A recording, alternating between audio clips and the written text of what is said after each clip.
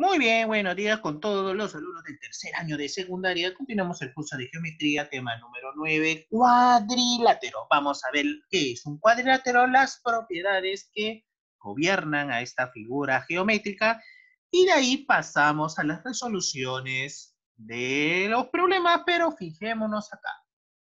Cuadrilátero es un polígono de cuatro lados que puede ser convexo y no convexo. Fíjese en la figura. Este es un cuadrilátero, figura de cuatro lados, que ya tiene ángulos internos alfa, teta, omega, beta. Y la suma de los ángulos internos siempre es 360.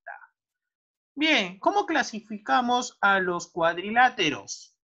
En dos, en tres partes. Trapezoide, trapecio,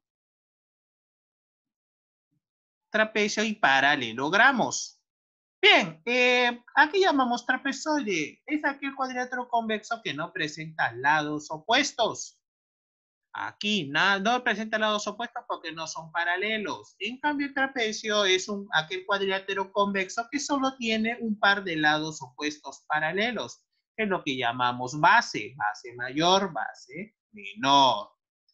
Bien, eh, también podemos distinguir si acá tengo los puntos medios. Propiedades del trapecio. Primero, puntos medios. El trapecio, la base media, es paralela a las subbases y su longitud es igual a la semisuma de las longitudes de la base. Tengo un punto medio del lado AB, que es punto M, estos dos lados son iguales, y punto medio N del lado CD. Estos dos lados son iguales. La distancia del punto M hasta el punto N es igual a la suma de las bases. Base mayor más base menor, todo entre dos. ¿Se comprende? Fíjate, la distancia del punto medio M del punto medio N es igual a la suma de las bases entre dos. Pero también existe puntos medios o base media, pero según sus diagonales. Tengo mi trapecio, base mayor A, base menor B. Tengo mi diagonal trazada AC, mi diagonal trazada BD.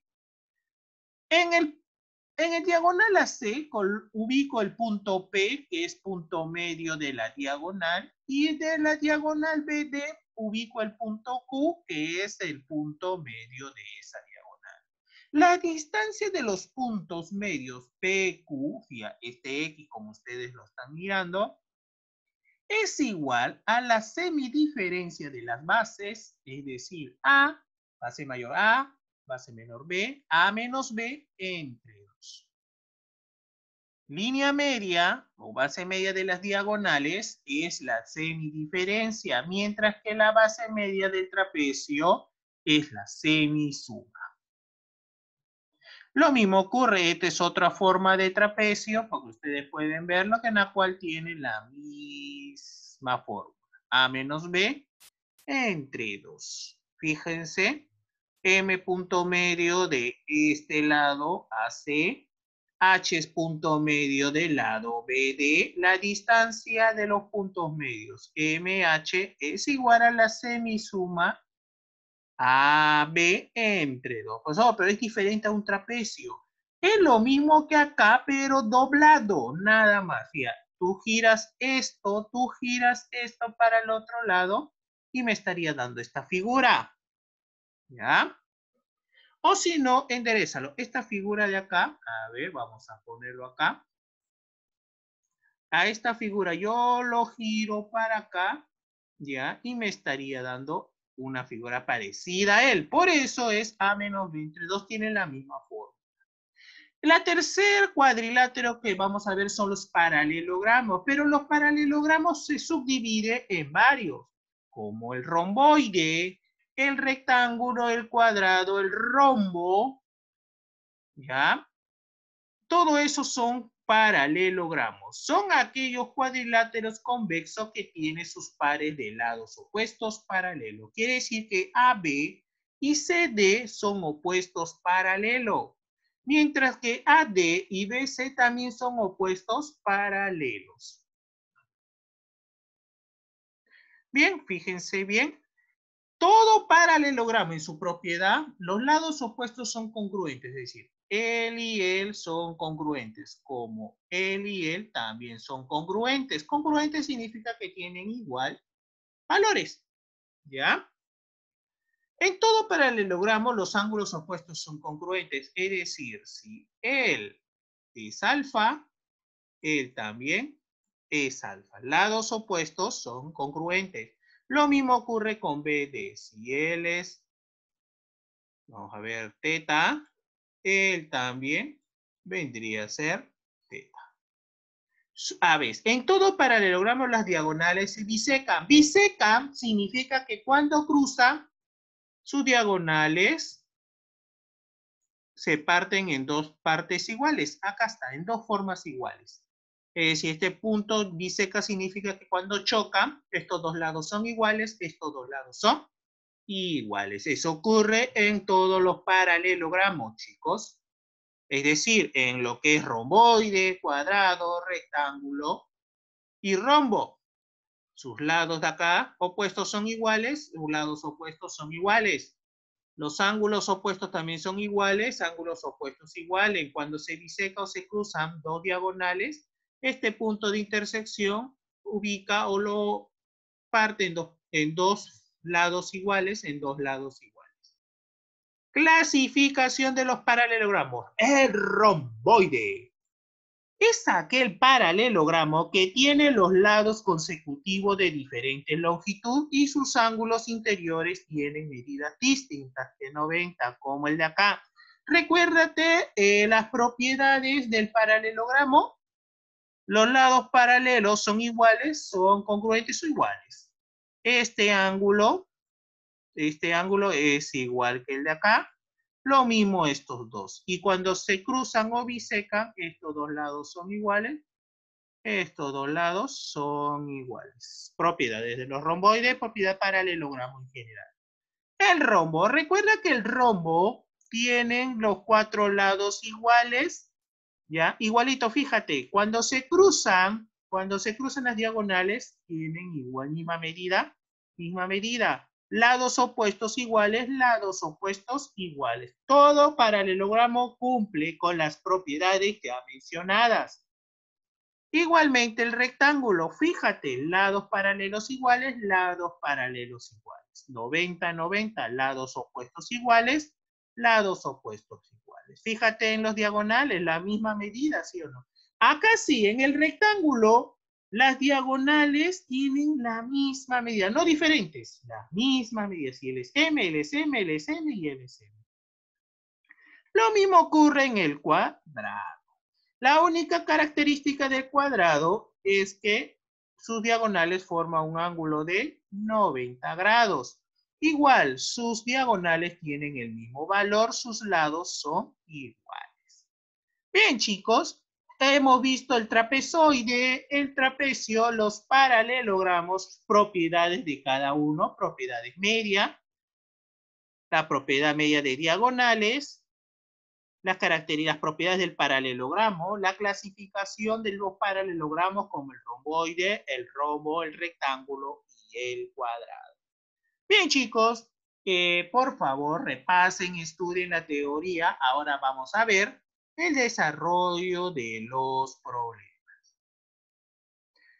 Bien, ahora sí, chicos, vamos a ver acá cómo se desarrollan los problemas. Ojalá que comprendan cualquier duda y consulta, por favor, avísenme con anticipación. Empezamos. Bienvenidos con todos los alumnos de tercer año de secundaria. Continuamos el desarrollo de los problemas del curso de geometría el tema número 9, cuadrilátero. Ya hemos visto todas las propiedades de los cuadriláteros, chicos. Tienen que repasar esas propiedades antes de ver este video, ¿ya? Bien, continuamos entonces con la, la segunda pregunta que me dice, calcula AD, me piden calcular AD en el romboide ABCD, si A, E y D e son bisectrices. Me dice que es bisectriz alfa, alfa, E de bisectriz, teta y teta. Bien, ¿qué me dice la propiedad del romboide? Vamos, fíjense acá. Fíjense acá, propiedad, este es el romboide. Si él es A, él es A. Si él es B, ese es B. Por lo tanto, estos dos lados son iguales, estos dos lados son Si tengo 4x, acá también vale 4x. Por propiedad de romboide, estos dos son iguales, estos dos son iguales. Ahora, fíjate acá en la propiedad, esta propiedad ¿No es una z? Ah, si es una z, él puede pasar acá. Entonces, él sería θ. Estamos hablando de un triángulo rectángulo, no, perdón, un triángulo isósceles. Estamos hablando de un triángulo isósceles. Por lo tanto, en el triángulo EDC, isósceles, isósceles. Entonces, S también va a valer 4X, es decir, él vale 4X. Pasámonos acá. Igual, fíjate aquí, las Z, si él es alfa, él es alfa. Entonces, quiere decir que él es isósceles. Entonces, el triángulo ABE, que también veo que es isósceles, dándome que BE es igual a 4X. 4X. ¿Entendió? Teta, teta, por lo tanto, dos ángulos iguales isósceles, alfa, alfa, ángulos iguales isósceles. Pero, ¿qué me dice por propiedad del romboide? Que BC es igual a AD, ¿sí o no? Por propiedad, propiedad, BC es igual a AD. Quiere decir que 8X es igual a 13 más 10. Si lo pasas a restar, te queda 5X igual a 10. X me va a valer 2. Pero no me piden el valor de X. Piden AD, quiere decir 3X más 10. AD viene de ser 3 por 2 más 10 y como ustedes ya saben, saben el procedimiento, AD va a valer 16. Espero que se haya comprendido, chicos. Fíjense la operación. Primero hay esto por propiedad de la z, observe que es isósceles, 4x, 4x, lados iguales. Lo mismo acá, por la propiedad de la z, alfa, alfa, isósceles, 4x, 4x. Pero como me dice que es romboide, recuerda que el romboide, los dos lados paralelos son iguales. Lo igualé acá hallándome x igual a 2. Pero no me pedían x sino a d. Lo reemplacé acá, dándome que el final a valer 16. En la pregunta 3, calcula X y ABCD también es un romboide. Pero fíjate solamente acá. Fíjate acá. Si N es 25, por propiedad de la X, también va a valer 25, ¿sí o no? Claro. ¿Cuánto vale Vamos, ustedes pueden, chicos. Recuerden que este, este, es un triángulo rectángulo. 25, 90, ¿cuánto sería él? Muy bien, 65. Seguro que me lo ha dicho, o de repente Ana o Yané. Bien, a ver. ¿Qué me dice la propiedad del romboide? A ver, ¿qué me dice? Acá, fíjense, este ángulo es igual que el y el, el ángulo de B es igual al ángulo de D. Si estos dos ángulos son iguales, ah, si estos dos ángulos son iguales por ser romboide, él sería 65. Pero date cuenta esta parte de acá, no debe ser 180 por ser un ángulo llano. Por propiedad, 65, estos dos ángulos son iguales, propiedad del romboide, y todo debe ser 180. Por lo tanto, voy a sumar que 5x más 65 es 180. Si lo paso a restar, 5x sería igual a 115. Si lo paso el 5 a dividir, me estaría dando 23. Chicos, estoy obviando las operaciones básicas porque si ya lo saben, sumar, restar, multiplicar, dividir. ¿Se comprendió? Muy bien, chicos. Pasamos a la siguiente entonces, si se comprendió. Por eso les digo que antes de ver este video, repasen la teoría para que ustedes no tengan problemas en entenderlo. Fíjense bien acá, me piden calcular el valor de X. Si ABCD es un rectángulo, ah, profesor, fíjate acá, profe, mire, mire. Esta es propiedad del rectángulo, fíjate, con sus diagonales son iguales, ¿sí o no? Claro, yo soy bien vivo, dice, seguro. Ah, ya, estos son iguales. Entonces, esto es un triángulo isósceles, porque estos dos lados son iguales. Si él es 35, este lado también sería 35. ¿Se comprendió hasta ahí? Espero que sí, chicos. Solamente he dicho que este es isósceles. Lados iguales, ángulos iguales. Él es 35. Además, se está cumpliendo una propiedad. ¿Qué propiedad, profesor? Ah, yo te digo la propiedad. No te asustes, ¿ya? Si él es el ángulo A, él es el ángulo B, él es X. X no es igual a A más B. Propiedad del triángulo. Y eso lo voy a poner acá. 35, 35. Él va a valer la suma. 70. Y ahora fíjate, ¿triángulo, rectángulo no? ¿Sí o no? Claro. Por triángulo, rectángulo. Triángulo, rectángulo. Acá está, fíjate, triángulo, rectángulo. ¿Qué me dice que la suma de los dos, ¿cuánto debe ser? 90. O ya, suma los tres y te debe dar 180. Si es que de tienes problemas ahí, verlo. 90 más 4x es 180. 90 más 70, ¿cuánto es? Muy bien, 160 más 4x, 180. Lo paso a dividir dándome que 4x es 20. Pásalo a restar, me da 20. ¿Ya? Y si lo paso a dividir, el 4, 20 entre 4, me da 5. Bien, eh, espero que no haya dudas. Pasamos a la siguiente. Si no, póngale pausa retrocédelo el video, inténtalo hacerlo tú, guiándote de video para que puedas entender. Bien, calcula MN si ABCD es un romboide. Seguimos con los romboides. ¿Ya? Pero vamos a verlo acá. ¿Te recuerdas que en la problema número 2, si es que más no me recuerdo, la problema 2, hacíamos la propiedad de la Z y, veamos, y eh, vemos que era isósceles. Lo mismo vamos a hacer acá. Pero fíjate, él es un romboide. Recuérdate, lados paralelos son iguales. Si él es 5, él es 5. Bien, como me piden MN, MN, vamos a hallar la mediana. Pero fíjate bien acá. Bien, vamos acá. Propiedad de la Z. Él es el ángulo teta. ¿Sí o no? Claro. Que son muy inteligentes, chicos. Pero fíjate, isósceles sí o no? Si a teta se le pone 5, a este ángulo teta también se le pone el 5. Ahora vamos acá también. Fíjate, alfa, una z, él es alfa, ¿sí o no? También no es isósceles, si alfa se lo pone a 5, a este alfa también se lo pone 5.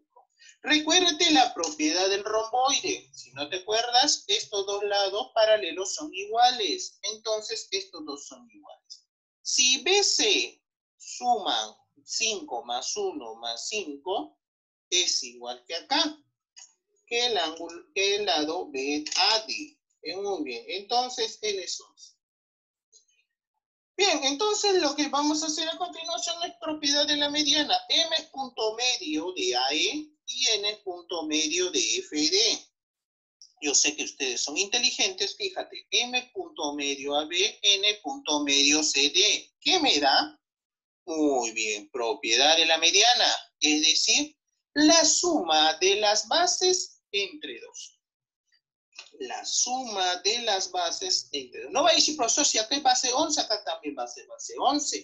No, chicos, me refiero al trapecio. ¿Ya? Por trapecio, por trapecio, A, no, pero A, E, F y D. Vamos a usar el trapecio A, E, F, D propiedad de la mediana o de los puntos medios. ¿Ya? ¿Qué me dicen los puntos medios?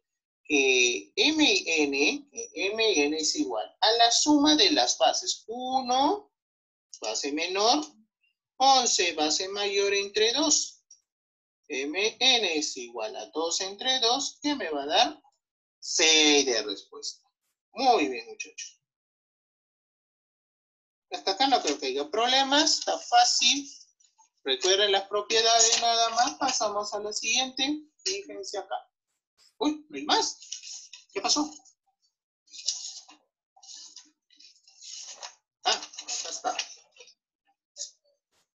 Aquí está. Problema 7.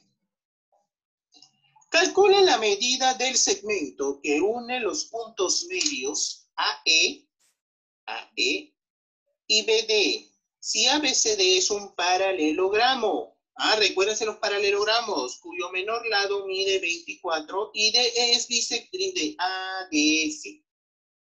A ver, jóvenes, el menor lado mide 24, lo vamos a poner los datos con negro. El menor lado es siempre esto, lo que está paralelos.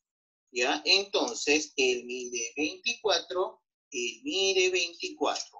Además, me dice que D es bisectriz. Él es bisectriz de ADC. Quiere decir que si él es alfa, él también será alfa. Oh, pero fíjate la Z, ¿sí o no? Muy bien, si él es alfa, fíjate, isósceles, él sería 24. Pero fíjate, estos dos lados son iguales. BE es igual a S. BE igual a S. Por lo tanto, él también sería 24. Además, Calcula la medida del segmento que une los puntos medios de AE. Necesito AE. Acá está. Él es AE. También BD. BD es esto. Me dice los puntos medios. De A a E, yo digo que él es punto medio. Y acá es punto medio me piden esta distancia. Yo voy a poner que esta distancia es ¿Te recuerdas eh, la propiedad de las diagonales? Esta. Fíjate, ¿se parece sí o no al problema? Se parece este trapecio con el de acá. ¿Qué me dice? Que debo de restar las bases. Base mayor menos base menor entre 2. ¡Ay, tía! Significa que necesito la base mayor, pero date cuenta que es un paralelogramo. Paralelogramo significa que los lados paralelos son iguales, esto también sería igual. ¿Cuánto suma BC? También me dice que BC es igual a AD por paralelogramo. Para paralelogramo. Por paralelogramo. Ah, ya, profesor. Entonces, como estos dos son iguales, es 48. ¿La suma, sí o no? Muy bien. Por lo tanto, M, M sería igual. Voy a poner por, por trapecio A, B, E y D. M sería igual 48 menos 24 entre 2. 24 entre 2, al final me estaría dando como 2, solamente por el trapecio. Nada más. Bien, eh, no creo que haya dudas. Solamente he hecho propiedad de la z, que ya lo hemos hecho varias veces. Isósceles 24 me dice que estos dos son iguales. 24, 24. Por lo tanto, me pide los puntos medios de diagonal AE, punto medio de diagonal BD, y me da, me aplico puntos medios de diagonales, dándome que dos. Y todo es propiedad nada más, chicos. Recuerden, propiedades, nada más. Pregunta número 8 y la última. Calcula PQ si A, si BC es paralelo a D, BC es 6, BC es 6, AD 14, AD 14. Voy a sumar, ahí está. AD 14. Esta es la pregunta 8, fíjense en el libro. Además, eh, me pide ayer PQ, pero no es Q. Ah, sí, esto es lo que me pide, fíjate. Esto es lo que me pide. Bien, lo que voy a hacer a continuación es esto. Tengo la base menor, la base mayor. Además, en el problema, también acá me olvidé ponerlo, me dice que estos, estos soldados son iguales. Significa que P es punto medio, ¿sí o no? Ah, ya, profesor, fíjate, mire. Base mayor, base menor y tengo un punto medio. Como en el dato, en el dato me dice que BC es paralelo a AD, si yo pongo, o si son paralelos, pongo un punto medio P, es decir, que la distancia acá también va a ser un punto medio. Ojo, eso cumple siempre cuando los dos sean paralelas. Esto lo voy a poner eh, M, ¿ya? M. M. Quiere decir que ellos también son paralelos a PM. Pero fíjate, si son paralelos, este es ángulo alfa, él también sería alfa. Y fíjate, él también sería alfa. Todos porque son paralelos y comparten una misma línea en común. Pero esto no es punto medio. ¿Ah? ¿Sí o no? Pero fíjate bien. Acá.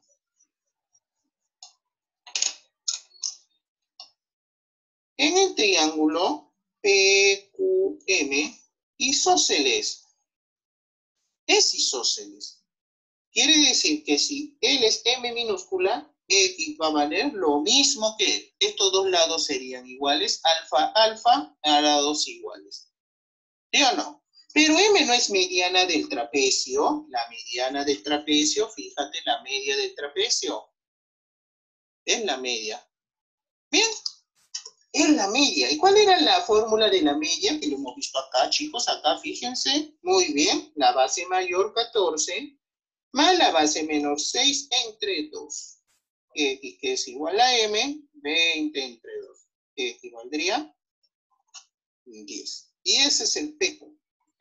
Bien, jóvenes. Ese es el PQ. Está fácil, sencillo. Tan solo recordar las propiedades, nada más. Bien, eh, saludos para todo tercero. Ahí está Lenin, Kelly, Vianney, José Luis. Muy bien. Ahí también estamos a Angie, a Maries y a muchos otros más. ¿Sí o no, Jairo? Está Jairo. Bien, eh, ahora sí, chicos, eh, vamos acá a la tarea que tanto les gusta. Bien, vamos a ver los cuatro. ¿Cuatro primeros está bien o quieren los cinco? Bien, yo soy tan bueno que les voy a dar solo cuatro, ¿ya? La uno, la dos, la tres y la cuatro. Bien, cualquier duda y consulta, por favor, ya saben cómo ubicarme vía Messenger o WhatsApp, como quieran. Bien, eh, no se olviden entrar a Classroom, ¿ya? para dar su práctica. Esta tarea de acá también me lo suben a claro, pero si tienen algún inconveniente o alguna dificultad para que puedan usar o subir esto a Claro, por favor comunicarse por mi Messenger para poder reseccionarlo ahí. Bien, jóvenes, nos vemos para la próxima. Cuídense, que Dios los cuide.